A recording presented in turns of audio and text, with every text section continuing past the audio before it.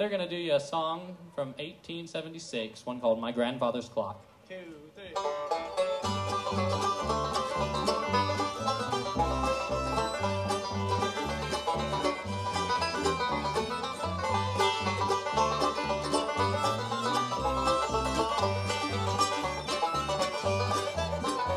My grandfather's clock was too large for the shelf, so it stood 90 years on the floor. It was taller by half than the old man himself, though it weighed not a penny, some more. It was bought on the morn of the day that he was born, and was always his treasure and pride.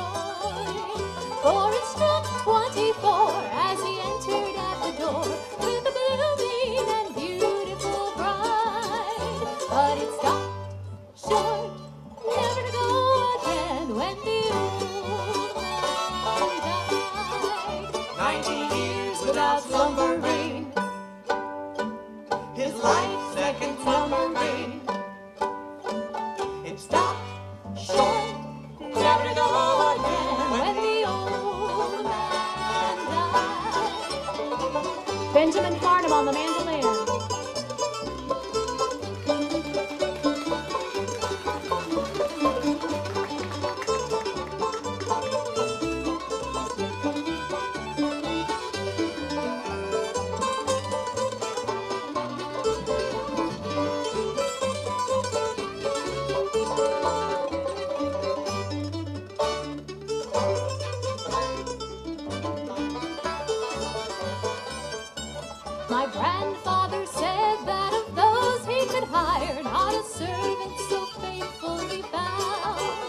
For it wasted no time and had just one desire at the close of each week to be wound. And it kept in its place, not frown upon its face. Its hands never hung by its side, but it stopped short, never to go again when the old man died. Ninety years without slumbering, his eh? Life seconds numbering.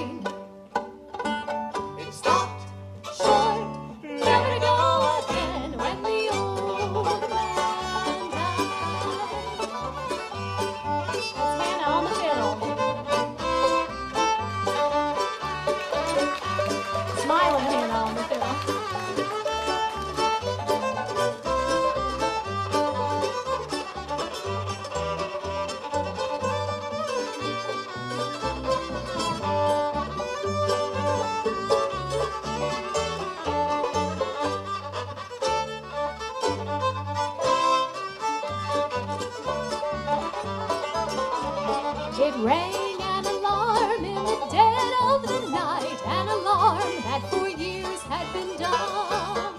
And we knew that his spirit was plumbing its flight, that his hour of departure had come.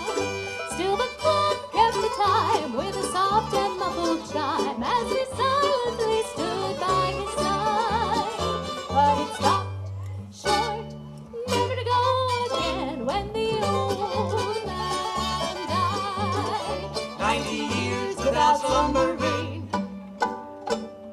Life seconds numbering. It stopped short, never go again when the